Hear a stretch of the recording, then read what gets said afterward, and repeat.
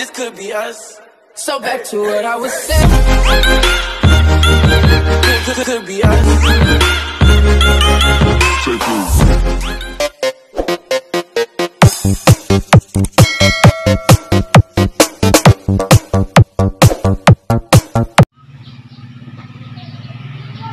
Hello mga ka-sound trip, dito po na tayo ngayon. Ayan, meron tayong ah, ipapakita ngayon, i-demo ah, itong uh, Kevlar GX7. Ayan po. Ito yung ah, sikat na sikat ngayon yung itong amplifier na ito. Ah, ito po yung harap niya, meron siyang lagayan ng microphone, dalawa, echo, tapos mic volume, tapos meron siyang feedback saka reducer. Ayan po.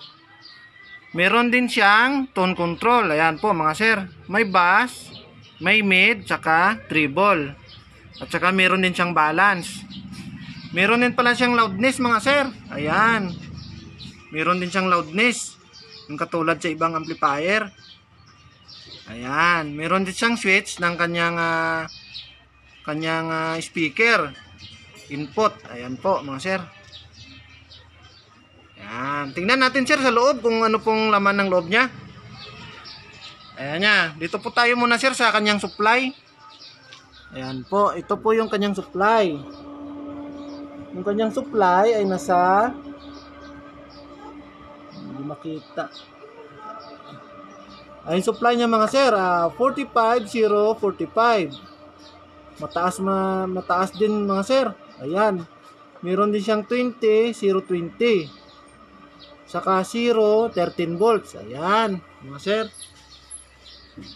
Malaki din ng kunti yung kanyang power supply, mga sir. Ayan, kung lagay ko yung kamay ko, ayan. Sakto lang yung kamay ko, mga sir. Saka mataas din siya.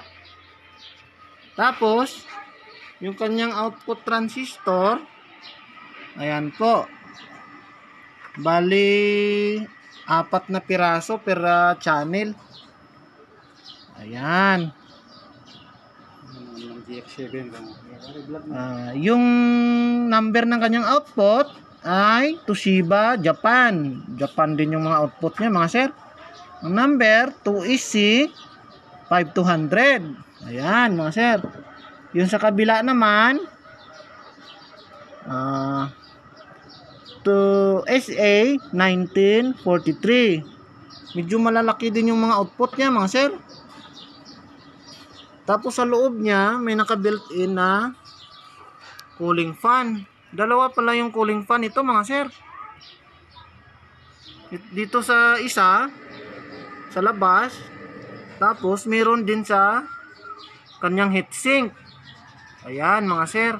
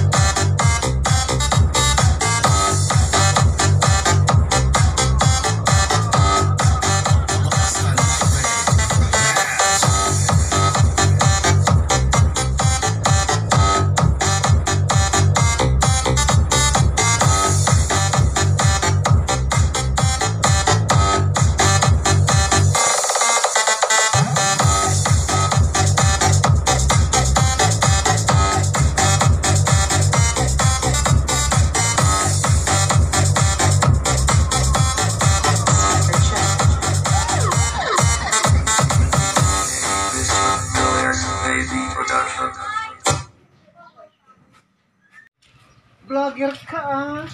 Ayan po mga sir, maraming maraming salamat po sa papanood. Ah, nagpapasalamat po ako sa GMP Disco Mobile ng Kapas Tarlac. Ayan po mga sir. Ah, thank you po. Sana po magkita-kita tayo ulit sa susunod nating video. Salamat po.